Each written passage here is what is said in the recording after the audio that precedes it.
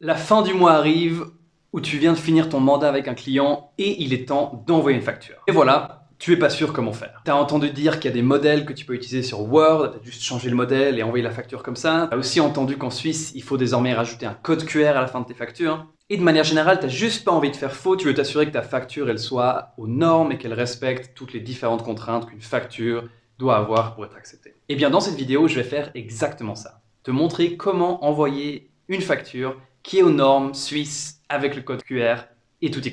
Pour ce faire, on va utiliser Magic ID. C'est une application que je développe. Tu peux soit ouvrir l'application web ou alors télécharger l'application sur le Play Store ou l'App Store. Une fois que tu es dans l'application, tu peux simplement cliquer sur le bouton plus pour créer un nouveau client. Là, il te suffit d'entrer les coordonnées du client que tu veux facturer, donc son nom ou son nom d'entreprise si c'est une entreprise, et son adresse. Ensuite, tu peux construire ta facture, mettre les éléments que tu peux facturer. Ça peut être des caisses de vin, ça peut être du consulting IT, ça peut être un site web que tu as développé, tout ce que tu veux. Et ensuite, il te suffit de cliquer sur le bouton PDF en haut à droite. Mais attention, pour que le client puisse te payer, tu dois évidemment renseigner tes coordonnées bancaires à toi aussi. Et donc ça, c'est la dernière étape renseigner tes coordonnées bancaires avec ton nom, ton adresse et ton IBAN. Et ensuite, l'application va générer un PDF pour toi que tu peux simplement partager avec ton client. Ton client pourra ensuite simplement scanner la facture pour t'envoyer le virement. Et l'argent arrivera sur ton compte un jour après. C'est aussi simple que ça. J'espère que ça t'a aidé et je te souhaite une super journée. Ciao